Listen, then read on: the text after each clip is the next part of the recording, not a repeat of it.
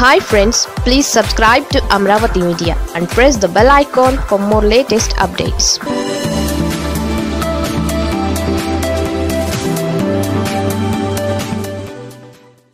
చంద్రబాబుకు వరుస షాకులు ఏం జరుగుతుందో చూడండి.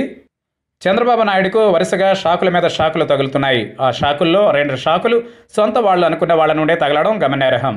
ఇంతకీ విషయం ఏంటంటే జగన్మోహన్ రెడ్డి ఆధ్వర్యంలో ఏపీ డ్రగ్ స్టేట్గా మారిపోయిందంటూ ఒకటే గోల్ చేస్తున్నారు. చంద్రబాబు అంటుకో గోల చాలా పీక్స్లో ఉన్నప్పుడు మాజీ మంత్రి గంటా శ్రీనివాసరావు వీడియో ఒకటి బయటపడింది. చంద్రబాబు మంత్రవర్గంలో గంట కీలకంగా వ్యవహరించిన విషయం తెలిసిందే.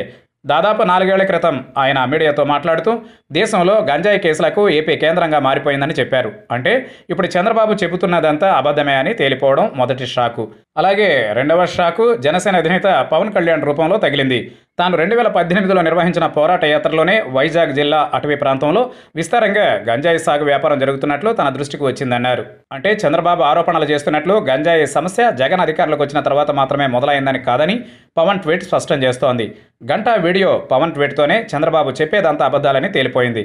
బహుశా వీళ్ళిద్దరి రూపంలో తన ఆరోపణలు నీరుగారిపోతాయని చంద్రబాబు కూడా ఊహించుండారు. ఇక ఢిల్లీలో నరేంద్ర మోదీ అమిత్ షా అపాయింట్మెంట్ కోసం తెగ ప్రయత్నాలు చేసి ఫెయిల్ అవ్వడం మూడవ షాక్. నాలుగవ షాక్ ఏంటంటే తనకు అమిత్ ఫోన్ చేసి మాట్లాడినట్లు వచ్చిన వార్తల అబద్ధాలని తేలిపోవడం. చంద్రబాబుకు అనుకూలంగా మద్దతు మీడియాలో ఏం అచ్చైనా జనాలు నమ్మే రోజులు కావివి. మీడియా రోజులు పోయి సోషల్ మీడియా రోజులని చంద్రబాబు మర్చిపోవడం గమనార్హం. ఇక చివరి షాక్ ఏంటంటే తనకు ఎంతగానో మద్దతు ఇస్తున్న ఎల్లో మీడియాలోనే తన వారసుడు నారా లోకేష్ సామర్థ్యంపై వ్యతిరేకంగా కథనం రావడం. టార్గెట్ చంద్రబాబు పేరుతో ఎల్లో మీడియాలో జగన్మోహన్ రెడ్డిని టార్గెట్ చేస్తూ ఓ కథనం అచ్చయింది. ఈ కథనంలో తాము జగన్ను టార్గెట్ చేస్తున్నామని అనుకుని చివరకు లోకేష్ గురించి చాలా బ్యాడ్గా చిత్రీకరించారు. తమ మద్దతు మీడియాలోనే లోకేష్ గురించి ఇంత బ్యాడ్గా వస్తుందని బహుశా చంద్రబాబు ఊహించుండారు. అంటే జగన్ గురించి రాసిందంతా చివరకు చంద్రబాబు ప్లస్ లోకేష్కే రివర్స్ కొట్టింది.